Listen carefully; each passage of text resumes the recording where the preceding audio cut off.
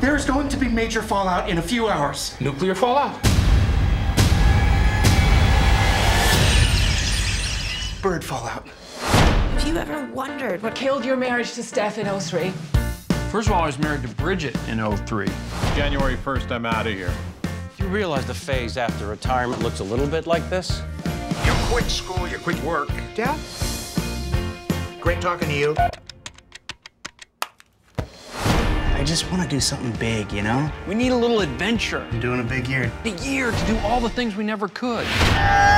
Now, You'd think they'd be exhausted by now. Race to the bottom? they're turning their quest They're men, dear. If they ever stop competing, they die. into the ultimate competition. Yeah!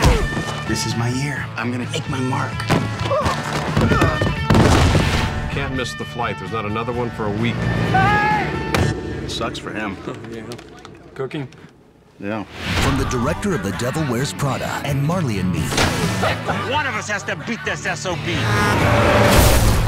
When it comes to comedy, Did you just do a victory dance? No. Maybe. Yes, I did. go big or go home. You bought me drinks and got what you wanted. Really? You don't want to know. Steve Martin, Jack Black, Owen Wilson. Most people wake up one day and realize they didn't do everything they wanted to do. Am I nuts, Edith? Are you asking me as a therapist or as a wife? Which one is cheaper? This is incredible, isn't it? Unless there's a freak blizzard. I shouldn't have said there's gonna be a freak blizzard. I jinxed it.